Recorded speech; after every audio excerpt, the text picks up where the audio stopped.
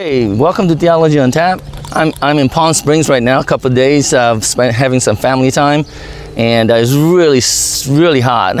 And so you don't see anybody golfing today out there because it's really hot. Anyway, I'm here for a couple of days with my family, just spending time together. And I really enjoy family times because um, we enjoy talking to one another. And a lot of times we talk about, you know, we talk about movies and music and other things, politics maybe sometimes, but a lot of times we just talk about God and what it means to be Christian, and how we should live our lives, and what evangelicals and Protestants, how they teach Catholics, and how we agree or disagree with what they teach, and, and the reason behind why we agree and disagree. It's really a lively conversation. I really, really enjoy that.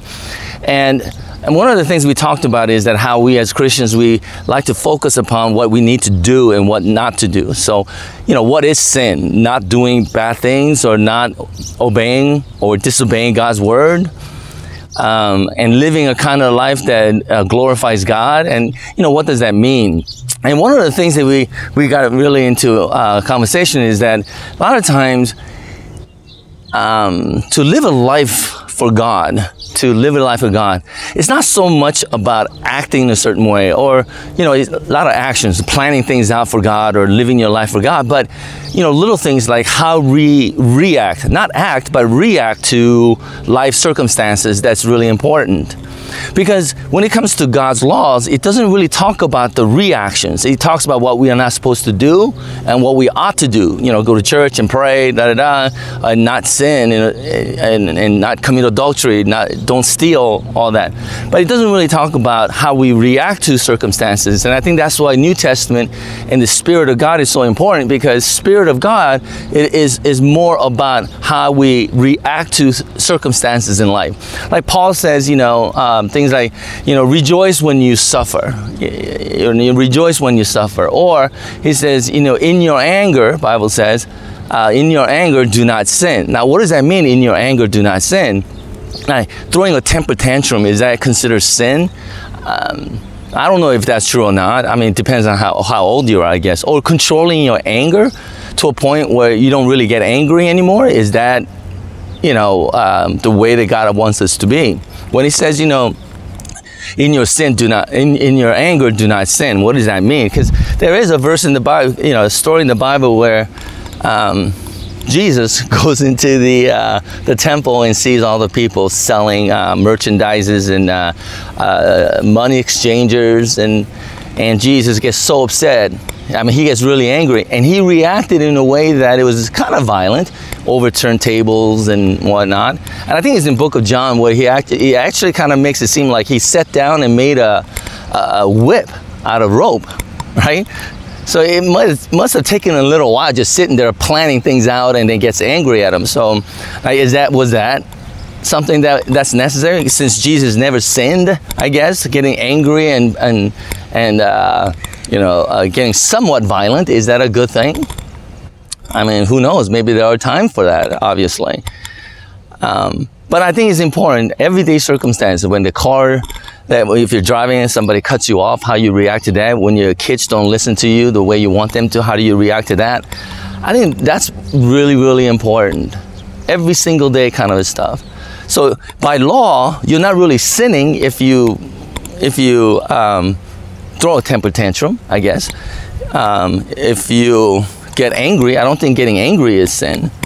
Uh, when you, uh, I don't know, when you, if you get somebody cuts you off, you want some kind of revenge so that you cut other person off. I mean, is that by law you can't really know whether that's the right thing to do or not. I, I guess a lot of times, you know, people who are into religion and law they discuss it, but I think what's more important is learn to be in the spirit of God when you know like the fruit of the spirit love joy peace kindness goodness uh, through that fruit of the spirit of god that we react to circumstances in life where we don't really regret um, doing anything stupid in the future. All right? Uh, i think that's very important so, so if I was when I, when I was raising my children and stuff, there were a lot of times I would get angry at my kids. But then, you know, um, the Spirit allowed me to take a step back and ask the question, "Why are you so angry?" And if if I really believe that they did, my kids did something wrong. By the time I figured it out, my emotional anger was kind of gone, so I could react in a way. But I have to tell you, about 97% of the times, when I ask myself, why are you so angry? I mean, about 90% of the time, even more, it was my fault. Maybe I didn't get enough sleep. Maybe I was just being selfish, you know. Um, so I could react in a way that that was uh, something that I would regret in the future. I wanted to make sure that I react and do things that is that is good for me and, and for my family. Um, when you know, since I drive for Lyft, a lot of, I see a lot of times I, I see people cutting me off. They're getting angry. Um, a lot of angry drivers out there. That's definitely for sure. And so when I do um, get cut off by someone else, uh, how we how I react to that, I think that's um, very important. Uh, do I get angry to a point where I want revenge? Do I cut them back, cut them off again, or do I realize that maybe that person's in a hurry? Maybe he's going to the hospital. Who knows what's going on in that person's mind? You know, in order to respond in a good way, you always have to kind of reflect upon uh, think upon what what to do. So we make sure that we make the right decision. That our decisions are not made out of total emotions of revenge or emotions of uh, trying to get somebody back. Um, when you don't get the results that you want uh, you get angry to a point where you want to force other people to um, do things that will bring about the result that you're happy with. I mean you see that in politics and and um, maybe even at work, right? But we can't, I don't think that's the right way to go.